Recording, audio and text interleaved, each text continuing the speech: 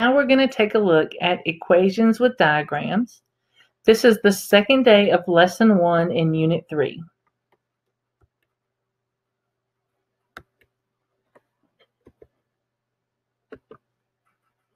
When will you teach this lesson? Let's take a look at the big picture to find out. This lesson is actually taught in Math 7 and Math 7 Accelerated. And as I mentioned before, this particular method will be used on day two of this lesson one. What standards does this lesson address? Where can you find helpful teacher tips? And what about those presentation strategies? Let's take a look at the scope and sequence to find out. First of all, for Math 7, this is going to be Standard 8 and Standard 9. Math 7 Accelerated.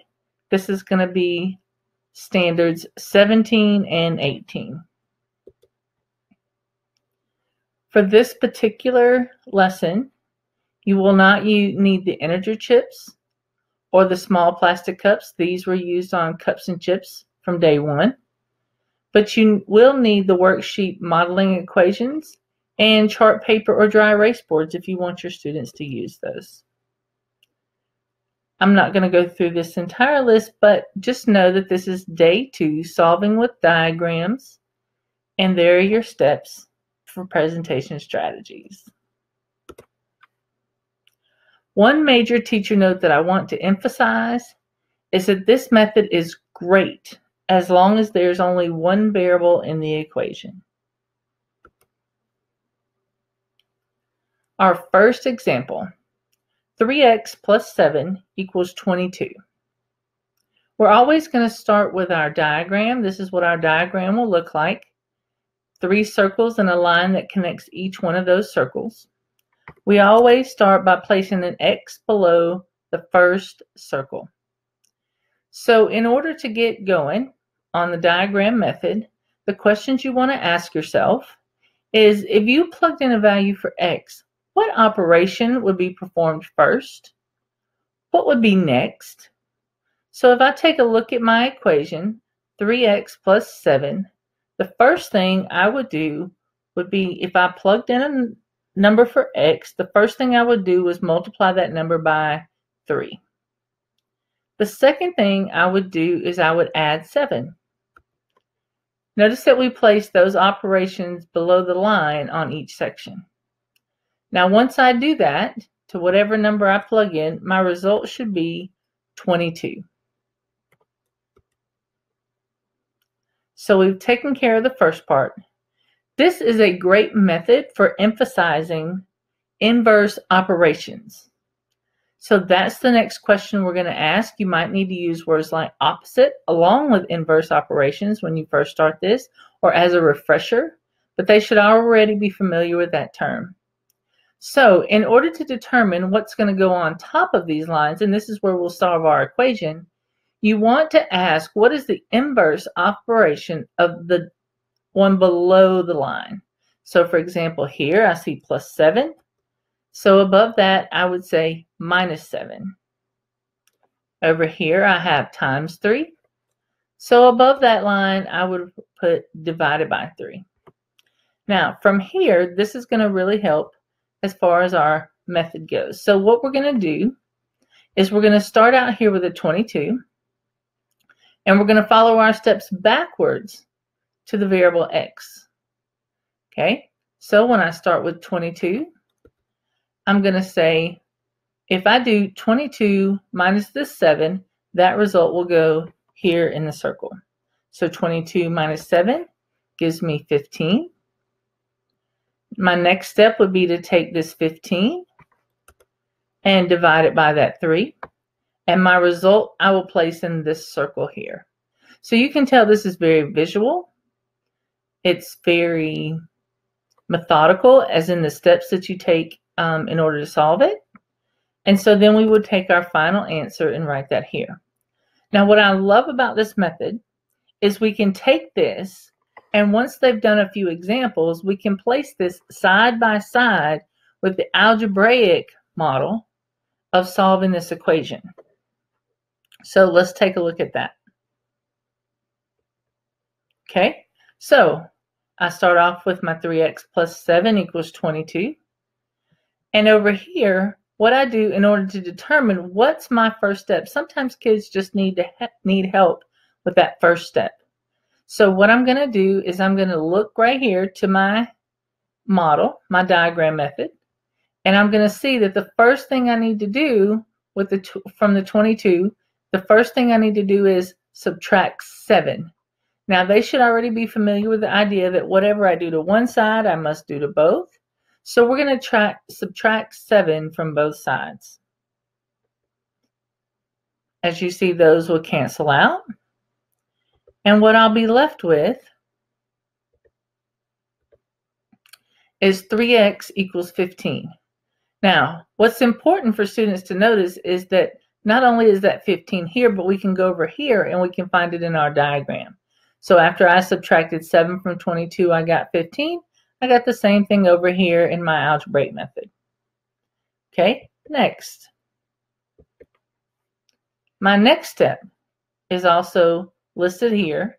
So my next step will be to divide by 3. Once again, whatever I do to one side, I must do to both. Put my fraction bars there and divide by both sides by 3.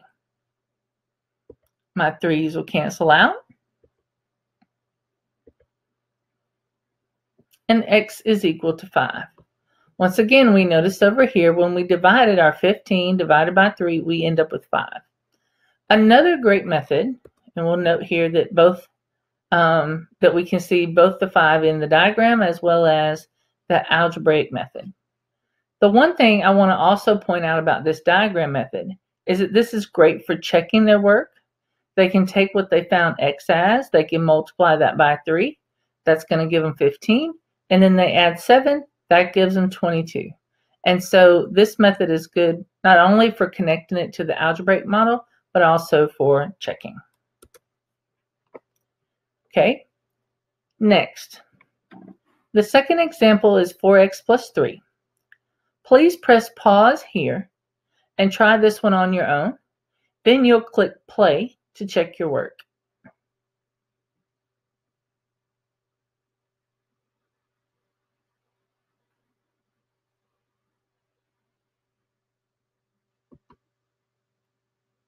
All right, we're back. So we're going to go through this one a little more quickly because you should already have your problem worked out on your paper. So we'll start with that equation again that we place x here under our diagram. And we take a, we pay attention to those operations, what will be done first. If you plugged in a value for x, we'd multiply by 4. Then we would add 3, and the result would be 27. So when I look at my inverse operations, the inverse of adding 3 will be to subtract. The inverse of multiplying by 4 will be to divide. Now we're going to take a look and say we're going to take that 27, subtract 3. That's going to give me 24. And then we're going to take the 24 and divide by 4. So that will give me 6 as a result for my x. Once again, Students can check their work. 6 times 4 gives me 24, plus 3 gives me 27. And once again, what's great about this method is that they can then take that diagram and they can translate that into their algebraic equation. So the first step would be to subtract 3 from both sides. That will leave us with 4x equals 24. We see that 24 is both in the equation and in the diagram. Then our next step will be to divide both sides by 4. The 4's will cancel out, leaving us with x equals 6. Once again, they'll also see that 6 is both in the algebraic equation as well as our diagram. Next problem. Take this example, press pause here, and try this one again on your own. Then click play to check your work.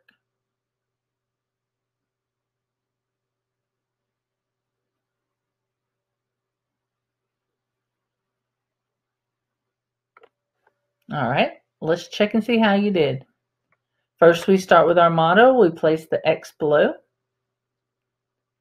In this problem, different than the first two, this one we actually would divide by 5 first and then subtract 2, giving us a result of 8. So let's take a look at the inverses for this one. The inverse of subtracting 2 would be to add 2. And the inverse of dividing by 5 would be to multiply by 5. Now let's put in the work. So we'll take that 8 and add 2 to it, giving us a result of 10. And then take that 10 and multiply it by 5, giving us a result of 50. Once again, we can check our answer. 50 divided by 5 gives me 10, minus 2 gives me 8. Okay. Once again, a great way to match up this diagram and the algebraic method. This will take the students step by step, helping them get that first step in to get them going. So we take a look. My first thing I should do is add 2 to both sides. We put the plus 2 on both sides. The 2's cancel out. I'm left with x over 5 is equal to 10.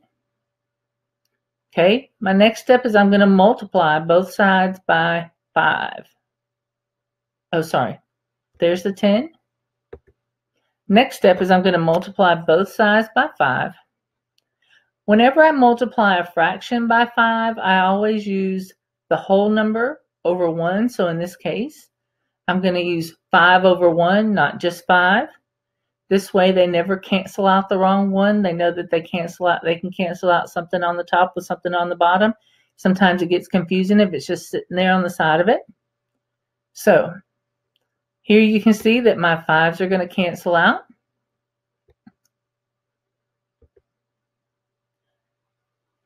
And I'm left with x equals 10 times 5, which is 50. All right, next. Take a look at this one. Press pause here and try this one on your own. Click play when you're ready to check your work.